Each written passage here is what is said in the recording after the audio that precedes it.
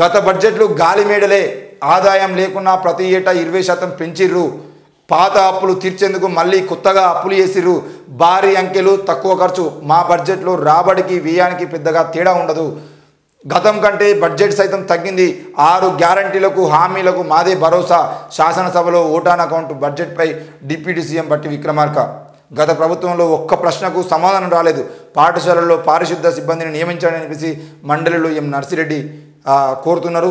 నిజంగానే పాఠశాలలో పరిశుద్ధ పారిశుద్ధ కార్మికులకు సంబంధించిన విషయంలో అది మాట్లాడుకుందాం. ఇకపోతే గత బడ్జెట్లు గాలి మీడని అని చెప్పేసి బట్టి విక్రమార్క అంటున్నాడు. మరి మీ బడ్జెట్ ఏ విధంగా ఉందో కూడా మీరు చెప్పాలి. ఈరోజు ఏమంటారు ఆరు హామీలకు సంబంధించి ఆరు గ్యారంటీలకు సంబంధించినటువంటి హామీలకు సంబంధించింది మాదే భరోసా అని చెప్పేసి మాట్లాడుతున్నాం మీ భరోసా కరెక్టే. అది మీ భరోసా కాకపోతే హరీష్ రావు భరోసానో కేటీఆర్ భరోసా అని మేము అనట్లేదు. కానీ ఇక్కడ విషయం ఏంటి అని అంటే గత బడ్జెట్లు గాలి మేడలు అంటే మీ బడ్జెట్ ఎవరి మేడలు కాంగ్రెస్ మెడలా? లేదంటే కేంద్రం అంటే మీరు ఈరోజు మీరు తీసుకొచ్చిన బా బడ్జెట్ ఏదైతే ఉందో ఆ బడ్జెట్ పేదవాళ్ళ మెడల్గా ఉందా? అది అది మీరు చెప్పాల్సిన అవసరం ఉంది.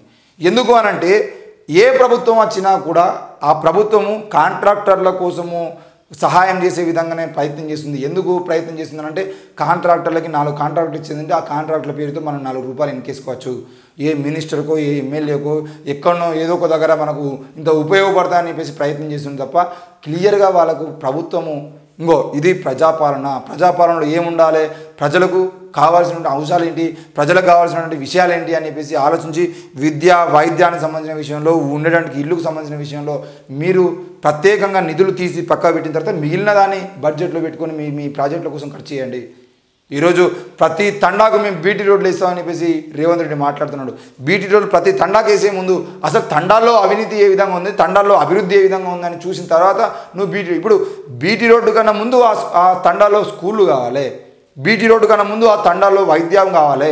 బీటీ రోడ్డు కన్నా ముందు ఆ తండాల్లో నివసించిన బిడ్డలకు కనీసం ఉండడానికి ఇల్లు కావాలి.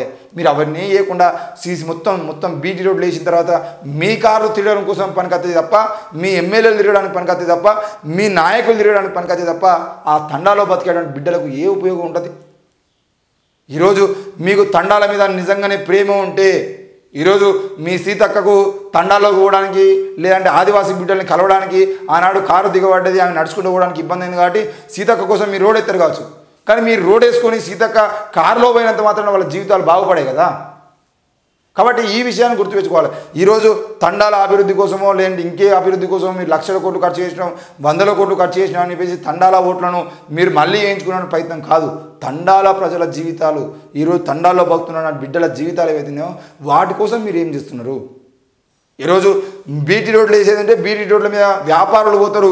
ఆ ఆదివాసీ గ్రామాల్లో తండాల్లో ఉండేటువంటి వ్యాపారానికి సంబంధించినటువంటి అంశాలు ఏవైతున్నాయో ఆ జీడిపప్పు కానీ ఏదైనా కానివ్వండి.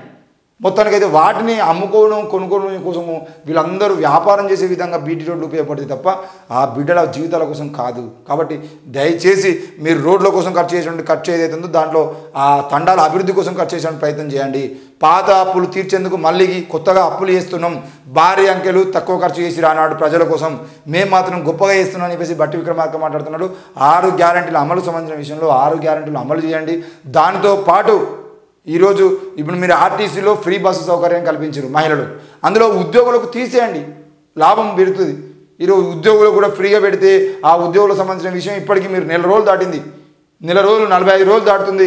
మీరు ఫ్రీ బస్ సౌకర్యం పెట్టి ఆ ఉచిత బస్సుకు సంబంధించిన విషయంలో ఇంకేమేం చేయాలి ఎట్లా చేయాలనే దాని మీద మీరు చర్యలు తీసుకుంటామని చెప్పారు. ఇప్పుడు వారు చర్యలు తీసుకోలేదు. మహిళ మహిళల్లో ఉన్నటువంటి ఉపాధ్యాయులు కానీ ప్రభుత్వ ఉద్యోగులు కానీ వీళ్ళందరూ ఎవరైతే ఉన్నారో వాళ్ళకి సంబంధించిన విషయంలో వాళ్ళకి ఆల్రెడీ ఇరవై ముప్పై వేల జీతం యాభై వేల రూపాయల జీతాలు వస్తున్న వాళ్ళు ఎవరైతే ఉన్నారో ఆ ప్రభుత్వ ఉద్యోగులకు సంబంధించిన విషయంలో తప్పకుండా వాళ్ళకి ఆ సౌకర్యాన్ని తీసివేస్తే తప్పకుండా వాళ్ళు ఒకవేళ బస్సులో సౌకర్యం బస్సులో ప్రయాణం చేస్తే రూపాయి మిగులుతుంది. లేదు అంటే వాళ్ళు మళ్ళీ ఆటోలో అవి మాట్లాడుకొని పోతారు. అప్పుడు ఆటో డ్రైవర్లకు జీవితాలను బాగుపడతాయి. కాబట్టి ఉన్నోళ్ళకే పెట్టే విధంగా మీరు తీసుకొచ్చిన పథకం సరైనది కాదు. ఇక మీ బడ్జెట్ ఏ విధంగా ఉంటుంది? మీ బడ్జెట్లో ఎన్ని కోట్ల రూపాయలు దేని ఖర్చు చేస్తారు అనేది నెక్స్ట్ బడ్జెట్ సమావేశాల వరకు ప్రజలు చూస్తారు. అప్పుడు మీరు మాట్లాడిన ప్రతి మాటకి కేసీఆర్ కేటీఆర్ సమాధానం చెప్తాడు. ఇక గత ప్రభుత్వంలో ప్రతి ఒక్క ప్రశ్నకు సమాధానం రాలేదని చెప్పేసి నర్సిరెడ్డి ఎమ్మెల్సీ నర్సిరెడ్డి అంటున్నాడు. పాఠశాలల్లో పారిశుద్ధ సిబ్బందిని నియమించండి. ఈరోజు ఏం జరిగింది అని అంటే తెలంగాణ రాష్ట్ర వ్యాప్తంగా గ్రామాల్లో ఉండేటువంటి పారిశుద్ధ సిబ్బంది ఎవరైతే ఉంటారో సఫాయి కార్మికులు ఆ సఫాయి కార్మికులను తీసుకుపోయి ఆ పాఠశాలలు ఏవైతే ఉన్నాయో ఆ పాఠశాలల్లో సఫాయి కార్మికులతోని పూర్తిగా క్లీన్ చేసేటువంటి ప్రయత్నం చేస్తున్నాడు ఇప్పటికే సఫాయి కార్మికులకు గ్రామంలో పని చేయడానికి ఏంది చెత్త సేకరణ అని చెప్పేసి మొత్తం ఈరోజు డంప్ యార్డ్లు అవి ఇవి అని చెప్పేసి కేసీఆర్ ప్రభుత్వంలో అంటే మొత్తం కట్టినటువంటి డంప్ యార్డ్లు కానీ చెత్త సేకరణ సంబంధించిన విషయంలో కానీ ఆ ఇంటింటికి పొడి చెత్త తడి చెత్త అని చెప్పేసి వాటిని తీసుకొచ్చేటువంటి విధానం కానీ ట్రాక్టర్లు కానీ చెత్త సేకరణ బండ్లు కానీ వీటన్నిటిని మెయింటైన్ చేయడం కోసమే సఫాయి కార్మికులకు పానాలు పోతున్నాయి.